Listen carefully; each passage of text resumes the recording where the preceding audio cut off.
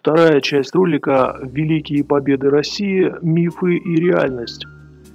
В этой части я хотел бы поговорить больше о тех событиях, которые ближе к нам.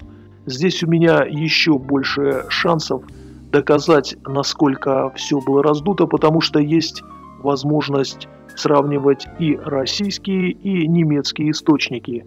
И поэтому в основном я буду говорить, как и обещал, о событиях Великой Отечественной войны. Но прежде всего я хотел бы обратиться к таким смешным людям, которые меня критиковали за то, что я постоянно призываю обращаться к Википедии в своей первой части.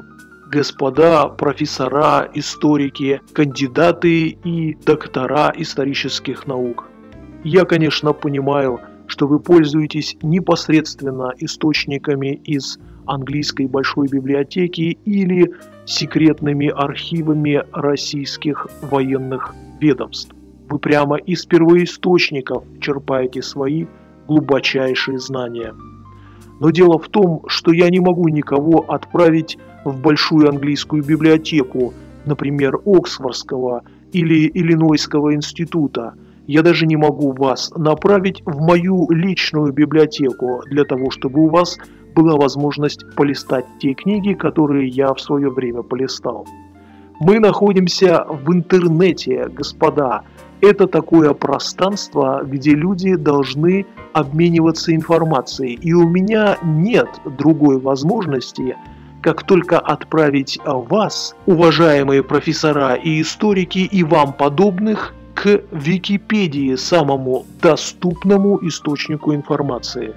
Вы можете выпендриваться сколько хотите, но в интернете других источников нет. Даже если я буду посылать вас на, на какие-то немецкие или английские страницы, вы, господа историки, да там трех букв прочитать не сможете.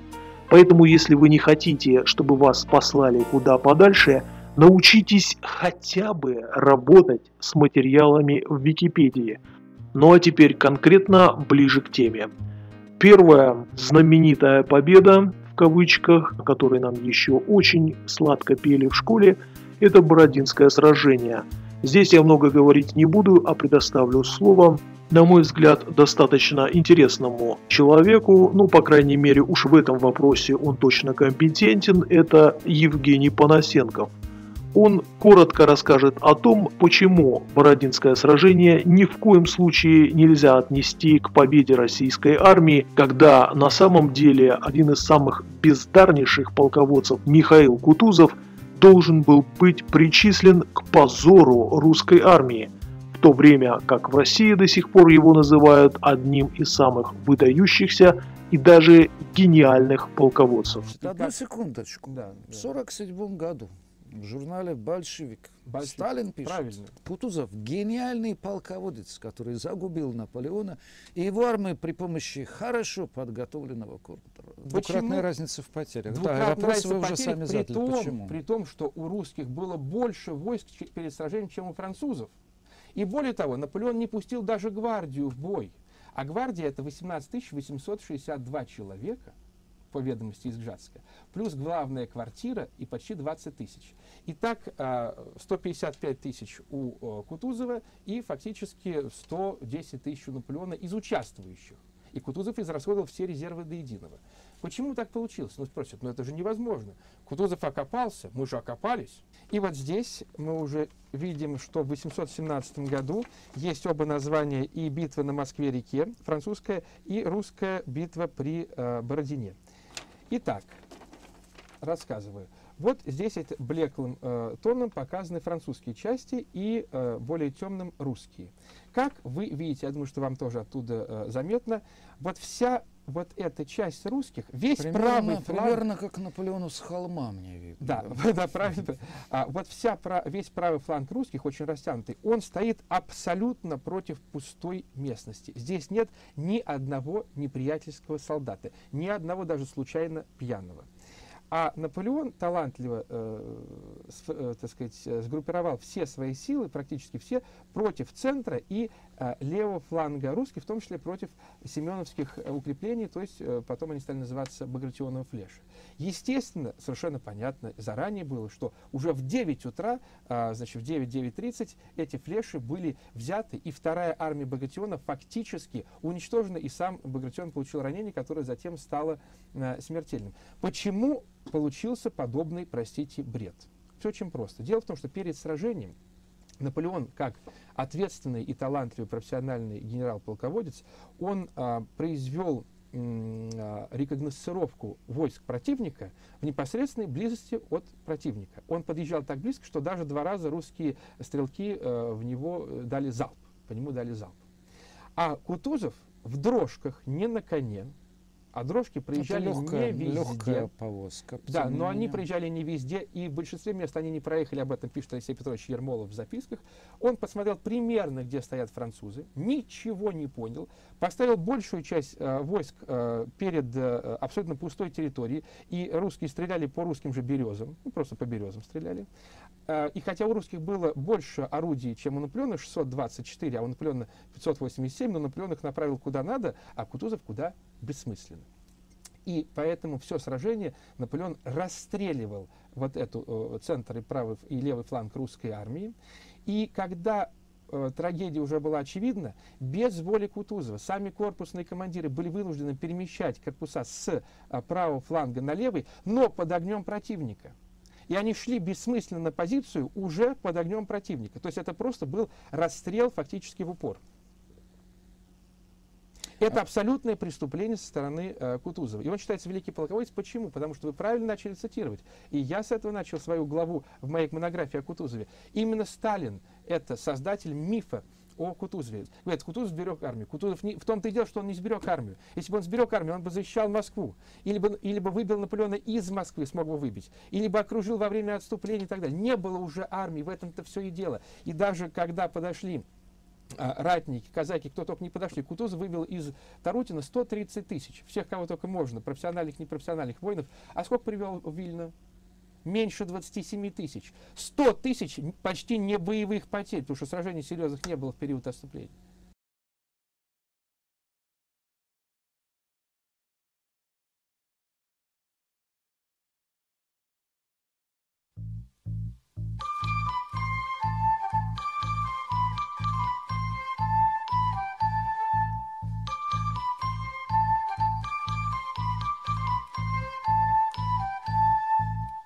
Битва под Прохоровкой – известный миф российской истории. До сих пор говорится о том, что там была беспрецедентная победа российского оружия, что никак не может соответствовать реальности. Для этого я обращался к многочисленным немецким источникам. Поверьте, по поводу битвы под Прохоровкой написаны сотни книг.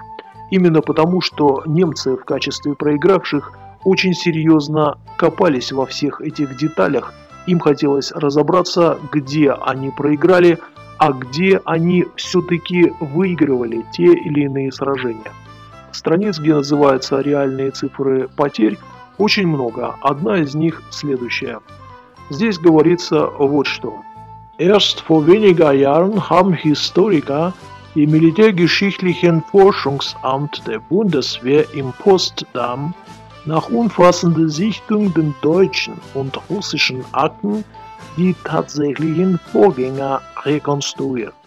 Другими словами, в историческом научном обществе немецкой армии, которая, как известно, находится в Поздаме, всестороннее исследование при содействии немецких и русских актов пришли к настоящему восстановлению хода событий. Выяснилось, что потери со стороны немецкой армии под Курском составили 252 военные машины, имеется в виду панциры в том числе, то есть танки, против 1956 единиц военной техники со стороны Красной армии beiden Flugzeugen ein ähnliches Bild. Самолетами подобная же картина.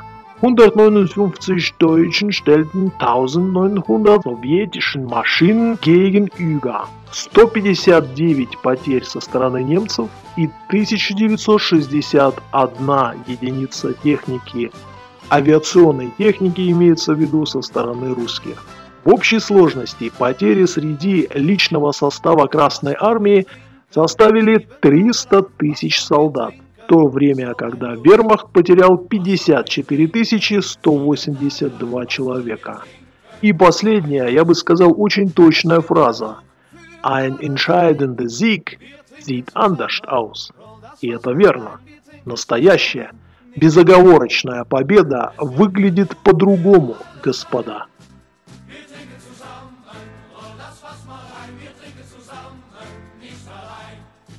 Dann wollen wir schaffen,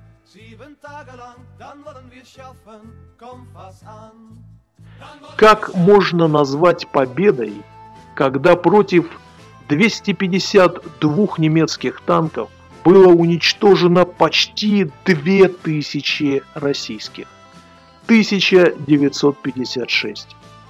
Про самолеты я вообще молчу. Получается, что всего 160 немецких самолетов уничтожили 1961 российский самолет. Это сколько же на одного немца пришлось покрошенных российских самолетов? 10 штук получается, так? И эта победа, один немецкий пилот уничтожил, унес с собой 7-8 советских машин. Это как? И дальше колоссальные цифры. 300 тысяч солдат, почти полмиллиона против 54 тысяч потерь со стороны немецкого вермахта. Вы считаете, что это можно назвать победой? Собственно говоря, я вообще не удивляюсь, почему после остались сотни тысяч свидетельств, писем, солдат, которые остались живы. Они ведь сидели потом и в российских военных тюрьмах, и в британских, очень многие солдаты вермахта провели еще по 6-10 лет в качестве военных заключенных, и их допрашивали. Они описывали события, свидетелями которых они были, и остались тома документов. Понимаете, тома, когда люди говорили такие вещи. Мы были в ужасе от того, что мы видели. После поля сражения Куча русских раненых лежит, стонет, выезжает русский танк и начинает закапывать этих людей в землю. Они рассказывали, как бросали трупы, и немцы не выдерживали и хоронили русских солдат. А затем все эти данные собирались и были высланы после войны русским военным архивом. Почему так происходило? Почему Сталину было насрать, сколько людей там погибнет? Отдаваемые в жертву бесполезно, бессмысленно, потому что не было талантливых полководцев. Бездарные технократы, стремящиеся только к положительной сводке, бравшие какие-то города и высоты не потому, что это имело стратегическое значение, а только потому, что это соответствовало, например, дате Великой Революции или к дню рождения вождя. Вот такие настоящие военные преступления и гуманитарные преступления против народа происходили в этой войне. А теперь с какой-то толикой гордости они говорят, нет, погибло не 20 миллионов и не 22, погибло 27, потом стали говорить о 35, сейчас говорят, что погибло больше 40 миллионов. Почему на своей территории 300 тысяч солдат погибает в танковой битве, а у противника погибает всего 54 тысячи. Как так? Кто был этот человек, который отдавал приказы? Кто были эти люди, которые отвечали за этих людей? Почему они бросали своих солдат, невооруженные с нестреляющими винтовками на полностью вооруженного противника, который, кстати, находился еще не на своей территории? Как так могло произойти?